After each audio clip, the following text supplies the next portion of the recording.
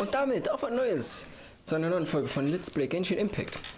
Ähm, ich habe länger nicht aufgenommen und ich hoffe, dass das Internet nicht, Internet nicht gleich weggeht. Aber, wie ihr seht, habe ich sie noch gezogen. Das werdet ihr, wenn ihr das Video davor seht, ähm, auch gesehen haben. Aber wir sind eigentlich auch sofort wieder dabei, wie Neues zu ziehen. Nämlich jetzt äh, gibt es ein neues Banner mit Yoemia. Und werde sie wahrscheinlich versuchen zu ziehen. Vor allem auch, weil sie ein Pyro-Charakter ist und ich habe keine guten. Beziehungsweise keinen guten 5 Sterne. Gar kein 5 Sterne Pyro-Charakter. Laden gescheitert.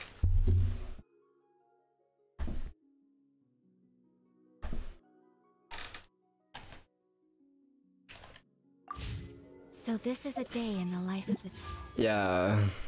Na gut. Laden gescheitert. Puls. Und hier hat sich nichts geändert. Werden wir am Ende versuchen. Und vorher gibt es Aktionssachen, die wir ausprobieren müssen. Erstmal den Probelauf mit Yoemia. Da gibt es diesmal auch Diona. Hallo? Ah, hier. Ähm, Xiang. Xinjiang, Xinjiang. Und Sayu. Und die will ich vielleicht auch ziehen. Sieht aus wie so. Aber probieren wir sie erstmal aus. Bogenschütze sind ja teilweise ähm, nicht so beliebt. Aber ja, wenn die gut reinhauen, sage ich, warum nicht? Sie hat hier natürlich jetzt auch gute Ausrüstung, ist Level 80, aber grundsätzlich. Mal gucken, Venti war ja auch eigentlich gar nicht so schlecht, glaube ich.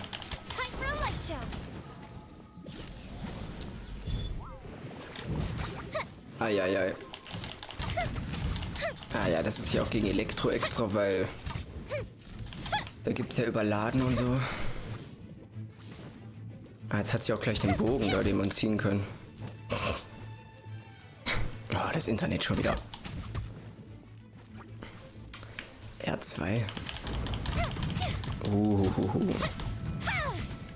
Ja, wie gesagt, Bogenschütze, da müsste man erstmal mit umgehen können. Da habe ich jetzt nicht so viel Ahnung von. Man kann das hier, glaube ich, sogar. Genau, da kann man das aufladen. Und sie macht irgendwas mit ihrem Feuerwerk. Voll cool eigentlich. Hä? Habe ich jetzt die. Die Kraft verloren? Sah das nur so aus?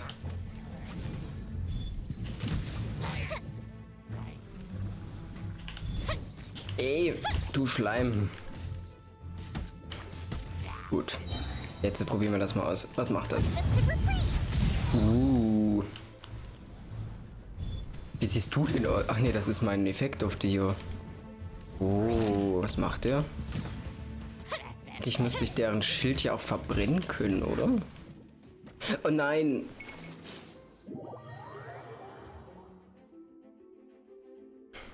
Ha, wie doof. Ja, du spring halt genau dann. Ja, das werde ich rausschneiden. Ach du lieber Gott.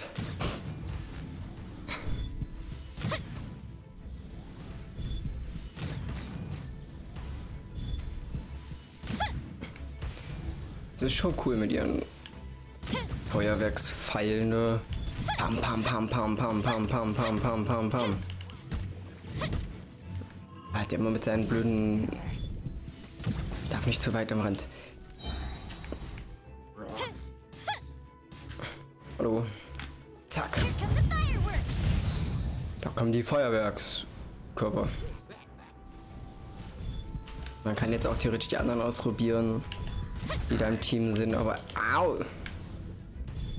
Werde ich jetzt nicht tun. Lasst mich doch in Ruhe, ich habe euch nichts getan. Ah, der hat so ein Schild, das kann man mit Feuer natürlich auch gut durchbrechen. Wir kommen denn noch von euch? Was willst du? Mit dir springt der mich hier einfach ein.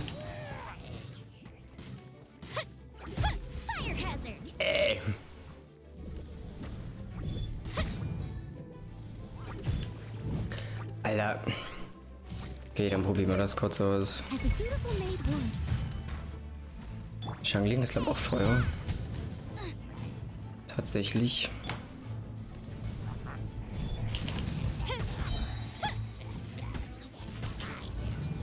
Attacke. Geil. Oh nein, jetzt haben wir noch so einen blöden Magier.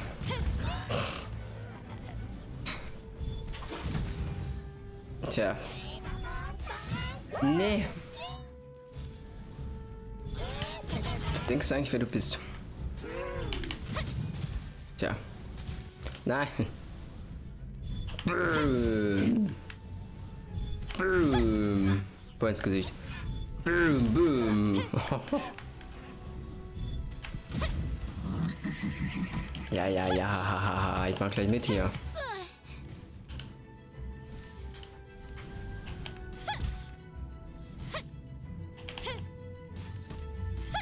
Ach komm, der hat nur noch ein Leben oder so.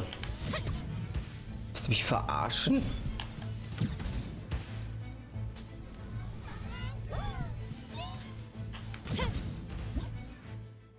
Wow. Eieiei. Was war denn das jetzt? Naja, irgendwie haben wir es ja geschafft. Ist eigentlich auch nicht schwer. Warum bin ich ja da runtergefallen? So ein richtiger Anfänger. Ach, übrigens, was ich euch noch gleich zeigen werde. Ja, das sowieso. Nein! Nein, das wollte ich nicht. Scheiße. Ach man. Geht denn heute alles schief? Kann hier raus?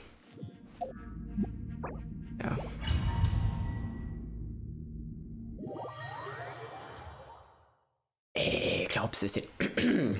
Aus dem Video hier vor, was ich glaube 41,5 nennen werde oder so, habe ich auch gemerkt, dass es für mich jedenfalls, oder ob es nur Zufall war, keine Ahnung, besser als Einzelpuls zu machen. Deswegen gibt es keine 10er Puls, größtenteils mehr. Wenn ich nicht gerade irgendwas dagegen habe, beziehungsweise dafür. Hallo! Ey, dieses Spiel. Beziehungsweise mein, meine Technik. So, jetzt. Hier. Einsammeln. Oh, Dreieck. Mein Gott. So, hier gibt es noch brüllende Feuersbrunst. Ja, niemals. Genau, das muss ich ja auch irgendwie... Nee, das war nicht das. Irgendwas anderes. Wir werden gleich vermisste Schätze machen, keine Sorge, aber ich wollte euch nur zeigen, dass... Guck mal, die Rennanimation von normalen Charakteren ist ja so. Ist ja bei Euler und bei Kitsching beispielsweise auch so. Aber Kamisato Ayaka hat eine viel coolere, die verschwindet so ein Eis. Ich habe von jemand anderen gehört, dass das schon Charakter hatte. Nur mit Wasser. Ich glaube Mona war das oder so. Ja, aber jetzt äh, werden wir diese Quest hier machen, weil da gibt es sehr viele Ur Urgesteins und gibt Selis. Vermisste Schätze. An der Küste von Inazuma bist du auf einen Schatzsucher namens Ullmann gestoßen. Er war der Partner einer schatzsuchenden Selie. Aus unerfindlichen Gründen reagierte die Selie aber nicht mehr auf ihn. Hallo, darf ich das lesen? Da. Die schatzsuchende Seli scheint nun an, an, dir interessiert zu sein. Vielleicht kannst du ihr ein neuer Partner werden. Ah, bin ich mal gespannt. Das ist, habe ich schon gesehen, eine größere Quest irgendwie. Jetzt hole ich mir erstmal was anderes ab. Ist halt ein bisschen durcheinander. Und ich weiß auch nicht, ob wir diese Quest, diese Aufgaben in einem Part abschließen können. Weil ich habe gesehen, dass das einiges ist. Aber mal gucken. Oh, ich bin noch verschnupft. Ich hatte gestern Fieber, war krank. Hatte am Montag, heute ist Mittwoch. Äh, meine zweite Impfung. Ja. Aber wir reden nicht so viel über Corona. Oder über irgendwas davon, weil wer weiß, wenn sich jemand dieses Video in ein paar Jahren anguckt, wie sich das alles verhält. So, lädst du jetzt mal, Dankeschön. So, jetzt hole ich die Sachen ab. Sonst dauert das wieder zu lange.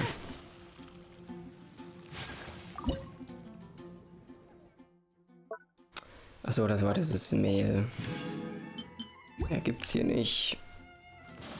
Warum brenne ich denn da immer an diesem blöden... Ad Astra Abyss. So, das hier habe ich hier kennengelernt. Hier gibt es coole Sachen, wenn man das macht. Beim fürs Kochen. Hallo, ich will das da. Gut. Kann man gleich wieder wen losschicken. Ihr seht, hier gibt es sehr viele Zutaten, theoretisch auch Geld oder Ärzte. Deswegen ist das eigentlich ganz cool. Haben wir hier noch was? Hallo? Ja. Mache ich immer die gleichen Sachen, weil ich weiß, bei welchen Rezepten ich was brauche. Und das ist dann halt einfach sinnvoll. Am Anfang hatte ich auch gedacht, dass der Charakter, den man dann einsetzt, dass man den dann selber hier nicht mehr benutzen kann, aber das ist äh, zum Glück nicht der Fall. Fände ich ein bisschen blöd, wenn das so gewesen wäre. So, jetzt, äh, hier seht ihr die Truhe. Man verfolgen, da sollen wir nämlich hin. Aber es sieht so aus, als wäre die im Wasser. Was geht da ab? Hm, bin mal gespannt. Ich habe keine Ahnung. Ich habe mir nur minimal Sachen angeguckt. Aber da wurde mir auch nichts erklärt, beziehungsweise das war so aus dem Kontext gerissen. Und eine Sache weiß jetzt auch da unten dieses Herz, das ist ein Element, was es noch nicht als Charakter gibt, sondern nur in Gegnerform. Das ist nämlich Dendro. Steht für Pflanzen und so. Schade, dass da noch keinen Charakter gibt, weil grün ist meine Lieblingsfarbe und Pflanzen sind auch so. Natürlich, weil es mal mit grün verbindet, auch so mein Ding, aber gab bis jetzt nur einen Charakter in der Story, aber den kann man nicht ziehen oder nicht spielen, der wohl Dendro sein soll. Ah, hier unten. Hä? Wo? Hallo? Äh, da. Da unten ist er doch, der Typ. Ullmann? Costa, bist du es? Hi. Oh, bin ich ein Seelenmagnet oder was? Oh, du, du hilfst mir jetzt mal, dankeschön. Komm, helf mir doch bitte. Ach man, ey, ich laber nur. Und mich hat eine Welle verschluckt. Und ich weiß jetzt nicht, was ich hier mache. Ich bin nämlich ein Ex-Freund der Silly. Ach Gott, Ex-Freund. Und es ist alles scheiße. Ich lese das jetzt nicht vor. Aber du hilfst mir doch, oder? Also komm. Jetzt sind wir zu dritt. Hier ist ein Buch und du, du musst das nur finden und ja, wenn du ein paar Sachen bringst, dann äh, findest, dann bring sie mir, dann tausche ich das ein und schau dir die Schatz. Ich habe schon eine Seele bekommen. Oh. Schau dir die Schatzkarte in Ullmanns Schatzheft an. Folge der Karte, um zum Gebiet zu gelangen, an dem der Schatz vergraben ist. Ullmann markiert jeden Tag zwei neu, zwei neu entdeckte Stellen in seinem Schatzheft. Ist jetzt die Frage, ob ich jetzt äh, Scheiße habe, weil ich erst ein paar Tage danach spiele oder ob das halt die Tage danach auch freigeschaltet wird, ohne dass man spielt. Du kannst die schatzsuchende Seele in der Nähe des Schatzes beschwören, solange du sie in deinem Inventar trägst. Wenn du dich allerdings nicht in der Nähe eines Schatzes oder zu weit entfernt vom Ort befindest, an dem der Schatz versteckt ist, wird die schatzsuchende Seele nicht auf deine Beschwörung reagieren. Wenn du dich dem Ort näherst, an dem der Schatz versteckt ist, beginnt die schatzsuchende Seele mit einer Intensität zu leuchten, die immer stärker wird, je näher du dem Schatz kommst. Mhm. Wenn die Schatztruhe erscheint, fliegt die schatzsuchende Seele direkt zu der Stelle, wo der Schatz begraben ist. Und man scheint in Wirklichkeit Eisenmünzen in der Schatztruhe zu sein.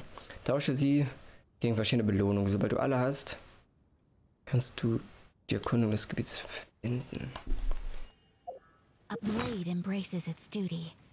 Mhm. Ja, vier Stunden noch, dann kann ich das einsetzen. Hier, seht ihr. Dieses Objekt wird am ähm, ablaufen. Mhm. As a jeweler cherishes their gems.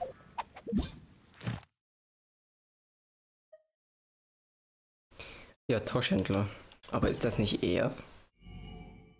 Oh, man kann 300 Urgestein kaufen, das ist ja geil. Diese Mini... Ach, da sind diese Selies. Selien. Aber was ist, wenn ich jetzt nochmal mit dir rede? Stopp. Machst du das gleiche?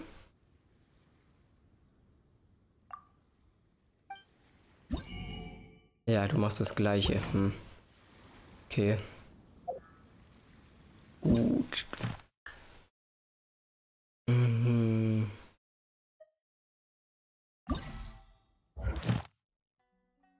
Besonderer Schatz. Ah, hier seht ihr, die anderen sind noch nicht verfügbar. Ja, Schatzzone 1. Ah, man kann 60 finden in dem Nord. Kann ich das irgendwie... Ach, da sieht man, wo das ist. Um den Fluss rum. Unten rechts von dem blauen. Das ist doch da bei dem Wald, oder? Deckt Herausforderung? Okay. Ich weiß, wo das ist. Man muss da nicht kämpfen. Hier unten rum, ja. Okay, das wird, glaube ich, ein, Parts, ein paar Parts beanspruchen. Mal gucken, bin ich gespannt. Ah, guck, wir sind doch schon hier. Schwöre die Selie. L1 und Kreis.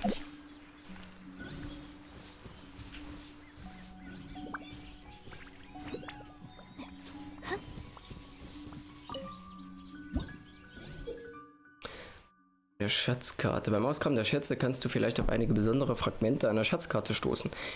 Ah, Kampf. Falls du diese Fragmente zu einer kompletten Schatzkarte zusammenfügen kannst, kannst du vielleicht den Hinweisen auf der Schatzkarte folgen, um den Geheimschatz finden. Wenn du dich in der Nähe von dem Geheimschatz befindest, kannst du die schatzsuchende Seele beschwören. Aha. In der Schatzzone, wo der geheime Schatz begraben ist, ist der Boden manchmal mit... Aha. Lass mich in Ruhe.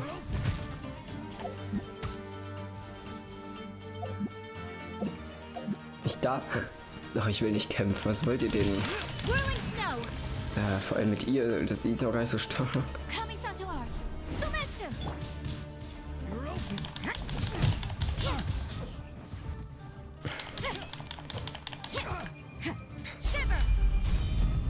Mein Gott. Warum sind die eigentlich so stark?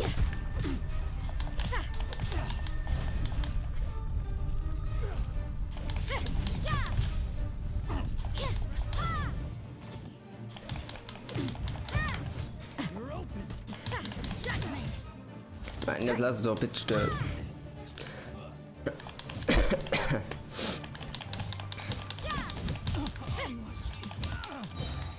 Ich könnte gerne einfach sterben. Das ist das Simpelste. Ich weiß gar nicht. Ich meine, ihr sucht vielleicht auch Schätze, okay, aber. Leute. Ihr habt keinen Sinn für Schätze. Ihr seid nur arme Leute. Okay, das macht sich besser. Ich glaube, dann wollt ihr umso mehr das suchen. So, das Fenster mal zumachen. Fuck. Ähm, was haben wir hier denn?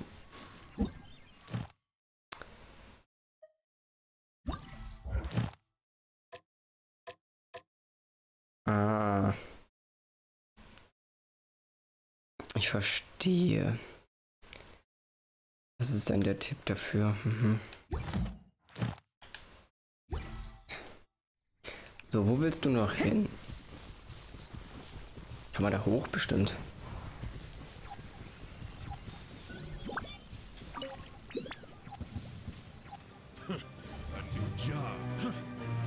Ach, warum kommen denn da mal Gegner? What a nuisance.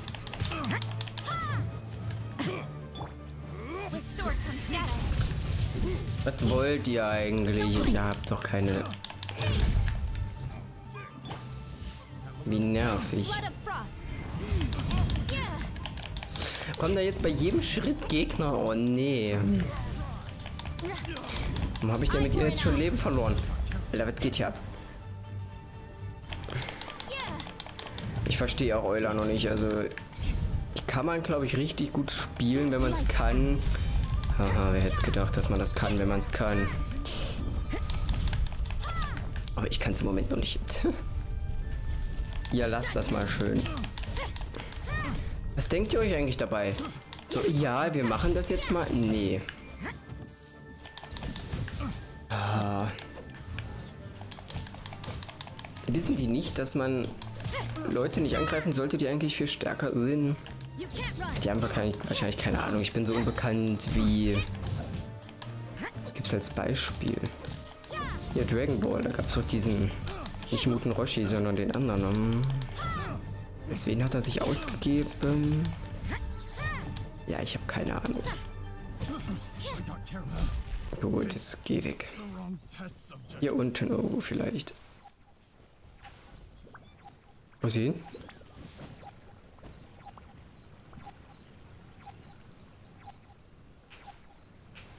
Hä?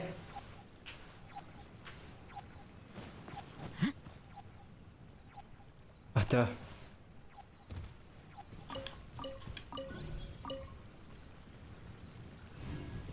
Okay, jetzt kommt aber keiner, das ist interessant.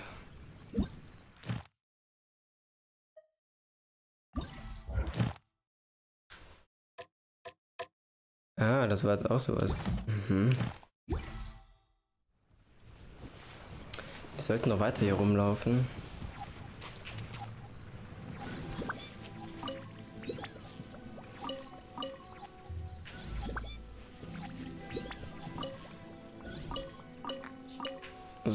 Gibt's nicht mehr.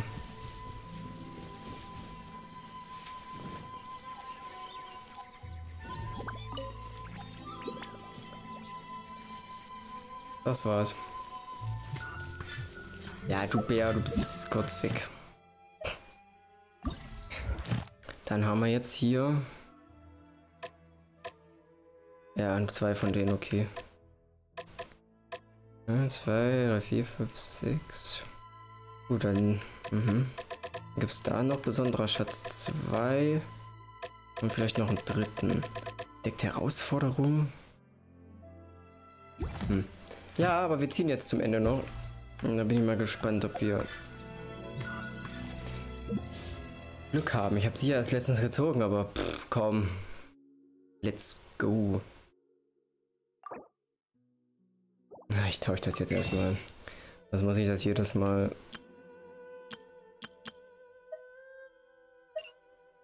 Hier. Das ist sonst sehr nervig. So, jetzt. Uh, lila. Ah, schade, ich hätte lieber Sayo gehabt.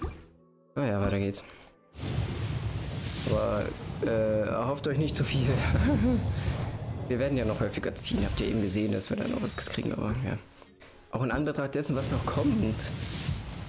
Bei anderen, ähm, wie nennt man das? Banner.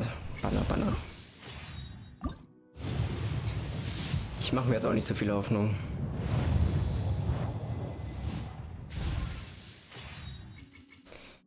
Äh, so. Komm, noch ein Charakter. Ah, schade.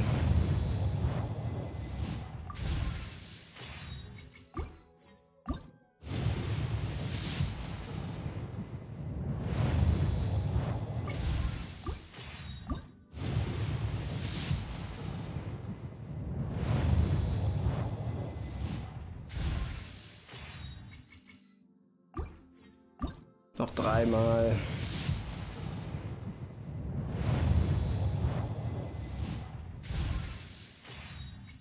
Mann, bitte, bitte.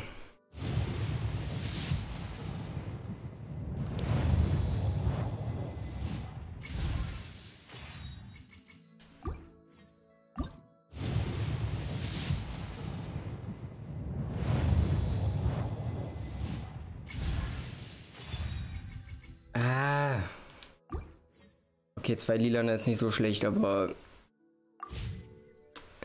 Hätte mir Sayo gewünscht. Jetzt habe ich Sinyandi verbessern können. Super toll. Das ist ja mega. Was ist denn da? Nee, nicht hier. Naja. Besser als gar nichts. Aber gebe noch nicht auf, was das angeht. Und ich hoffe, euch hat der Part gefallen. Wir schalten in der nächsten Folge von Let's Play Genshin Impact wieder ein. Also nicht verpassen, Like da lassen. Bis dahin. Tschüss.